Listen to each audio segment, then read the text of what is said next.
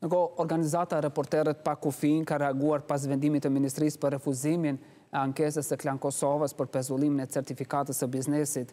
Reporterët pa Kufij tha se pluralizmi i informacionit po kërcënohet rëndë me refuzimin e ankesës më të madhe në vend. Kosovë, Pluralizmi i informacionit kërcënohet rëndë me refuzimin e ankesës nga media më e madhe private në vend, Klan Kosova, duke e lënë në fuqi pezullimin e certifikatës së saj të biznesit. Qeveria e Albin Kurtit po e shtyn atë drejt mbylljes. Ky vendim duhet të tërhiqet, thuhet në reagim.